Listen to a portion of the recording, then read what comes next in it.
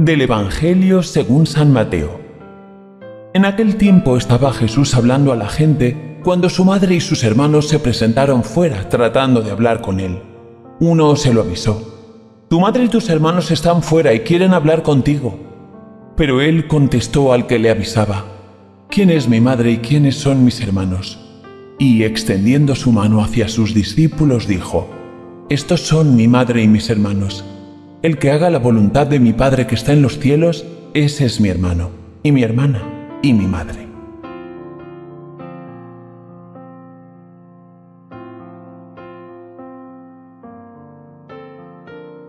El que haga la voluntad de mi Padre que está en los cielos, ese es mi hermano y mi hermana y mi madre. En este breve texto del evangelista San Mateo, breve pero sustancioso, hay tres personajes centrales. Jesús, la madre y los hermanos. En la cultura hebrea la palabra hermano se aplicaba para designar un rango muy extenso de familiares y parientes. A la advertencia que le hicieron a Jesús de que su madre y sus hermanos querían hablar con él, y a su pregunta de ¿quiénes son mi madre y mis hermanos?, Jesús señala con la mano a sus discípulos. Las respuestas de Jesús siempre sorprenden. En este relato resalta especialmente el valor de la madre y de la familia. Jesús va por los caminos de la fe. Por este motivo elogia siempre lo más grande de María, la fiel por excelencia, escuchando la palabra de Dios y poniéndola en práctica. También extiende esta maternidad de orden espiritual a la humanidad cuando desde lo alto de la cruz dice al discípulo amado, Ahí tienes a tu madre. María acogió al discípulo y a nosotros que por el bautismo formamos parte de la gran familia cristiana. Las fraternidades laicales de Santo Domingo, la rama laical de la Orden de Predicadores, la forman hombres y mujeres miembros de la Iglesia Católica, movidos por el Espíritu Santo a vivir su fe según el Espíritu y el carisma de Santo Domingo de Guzmán, basados en la oración, el estudio y la predicación. María cumplió siempre la voluntad del Padre y fue persona muy importante en la misión de Cristo. Los laicos de la orden de predicadores y los de otras órdenes religiosas, al igual que hicieron María y los discípulos, son piezas clave para continuar en el mundo actual esta misión de nuestro hermano mayor, Cristo, ya que encajan perfectamente en el parentesco por las palabras que dijo Jesús. El que cumple la voluntad de mi Padre del cielo, ese es mi hermano y mi hermana y mi madre. ¿Cómo reacciono cuando surgen obstáculos para conseguir una meta en la vida? Tal como llevo a la práctica la misión encomendada por Jesús, ¿Él me llamaría hermano o hermana?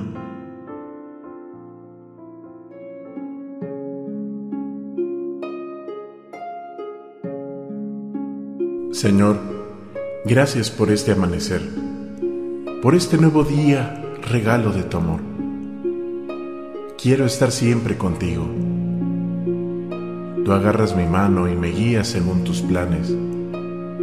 Solo tú me llevas por el camino correcto. Qué grande eres en medio de todo. Qué bueno saber que en este nuevo amanecer me llenas de abundantes dones. Qué bueno es saber que nada malo podrá pasarme, porque eres el guardián de mi vida, de mi familia. Contigo no me importa nada más, pues eres todo para mí, el que me marca el camino el que me ayuda a crecer. Cada fibra de mi ser se dedica a alabarte, a exaltar tu santo nombre, a mostrar al mundo cuán grande es tu amor por mí. Mi corazón se alegra por ti, mi Dios, mi única posesión. Quiero darte gracias por el don maravilloso de la fe. Es un privilegio poder conocerte te agradezco de todo corazón por tenerme una vez más disfrutando de la existencia, por confiar en mí y en que puedo servirte según lo necesitas en la construcción de tu reino de amor para todos nosotros.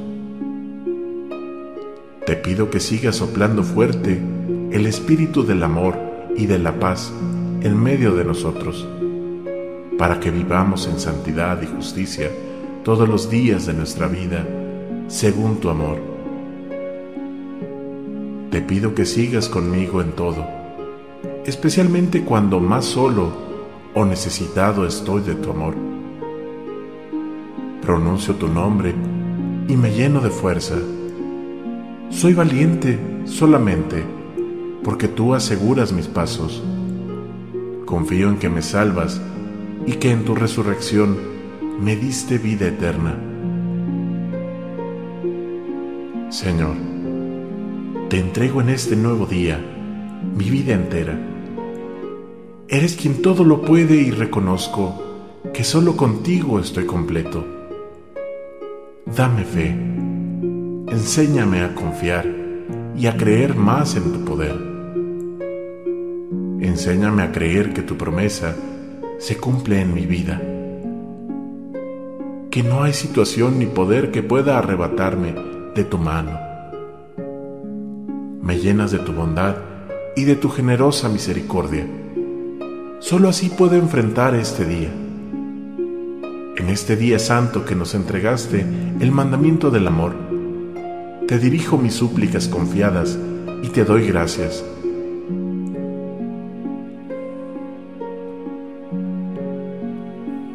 Ayúdanos a amar, sirviendo a los demás como tú nos lo enseñaste, lavando los pies a los apóstoles que pueda reconocer el gran signo de servicio y entrega que se deben multiplicar en todas las acciones en favor de los demás.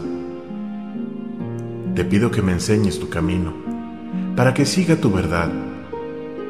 Mantén mi corazón firme en tu nombre. Solo tú tienes palabras de vida eterna, porque eres el camino, la verdad y la vida.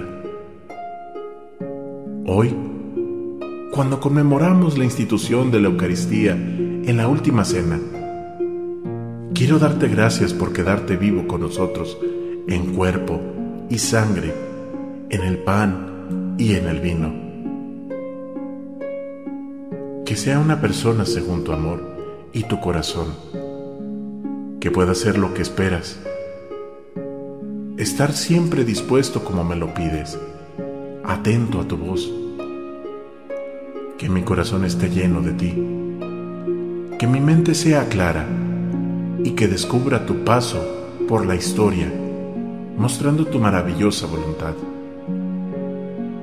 Enséñame a abrir mi corazón a tu acción para que sea un hombre o una mujer como tú lo quieres. No permitas que mis ojos se aparten de ti y déjame ser tuyo siempre. Amén.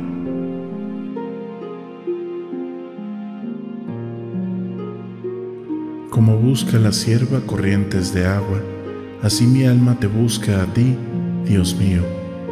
Tienes sed de Dios, del Dios vivo. ¿Cuándo entraré a ver el rostro de mi Dios? Las lágrimas son mi pan de noche y día, mientras todo el día me repiten, ¿Dónde está tu Dios? Recuerdo otros tiempos, mi alma desfallece de tristeza, cómo marchaba a la cabeza del grupo hacia la casa de Dios, entre cantos de júbilo y alabanza, en el bullicio de la fiesta. ¿Por qué te acongojas, alma mía? ¿Por qué te me turbas? Espera en Dios que volverás a alabarlo. Saluda mi rostro, Dios mío. Cuando mi alma se acongoja, te recuerdo desde el Jordán y el Hermón y el monte menor. Una cima grita a otra cima con voz de cascadas, tus torrentes y tus olas me han arrollado.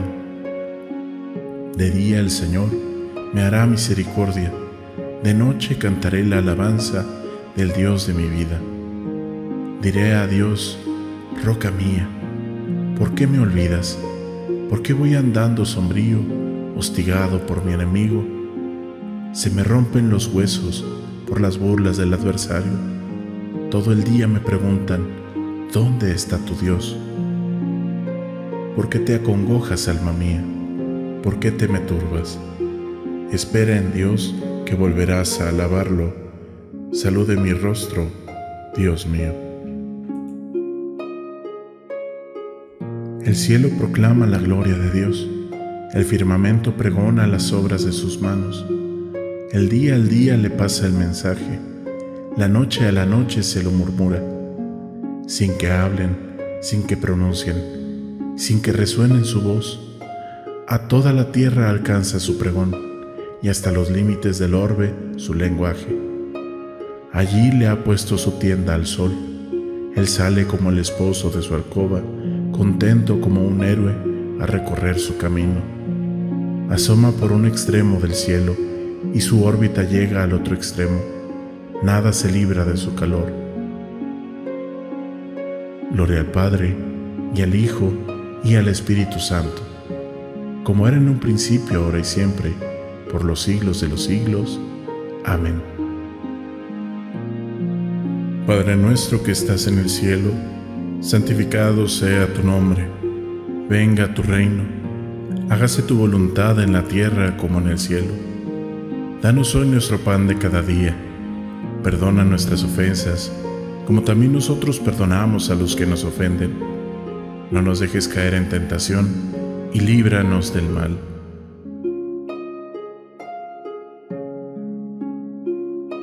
Creo, Jesús mío, que estás real y verdaderamente en el cielo y en el santísimo sacramento del altar. Te amo sobre todas las cosas y deseo vivamente recibirte dentro de mi alma, pero no pudiendo hacerlo ahora sacramentalmente, ven a lo menos espiritualmente a mi corazón, y como si ya te hubiese recibido, te abrazo y me uno del todo a ti. Señor, no permitas que jamás me aparte de ti. Amén.